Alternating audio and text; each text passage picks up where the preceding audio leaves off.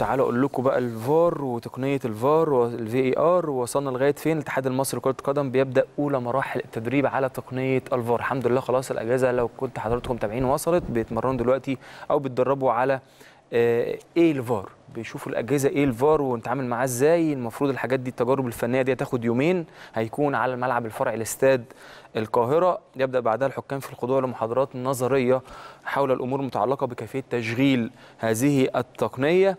ومن المقرر أن تستغرق هذه المرحلة أسبوع. بعدها يتم تقسيم الحكام ل 18 مجموعة. كل مجموعة ثلاث حكام للبدء التدريب العملي والذي يمتد لمدة 28 يوم. متوقع أن يشتغل الفار في الدور الثاني من الدوري العام. كل التوفيق لكل القائمين على هذا.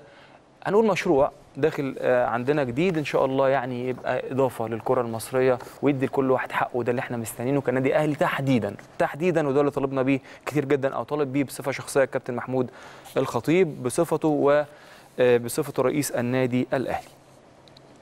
محمد فضل عضو لجنة إدارة الاتحاد المكلف بالمشروع بيقول إن البرنامج الزمني الموضوع يكفل تطبيق التقنية بداية من الدور الثاني اللي لسه متكلم مع حضراتكم في الموضوع ده وهم مستنيين موافقة رسمية من وزارة الشباب والرياضة. أكيد هي يعني مش هتعترض أو هتوقف آه هذا المشروع.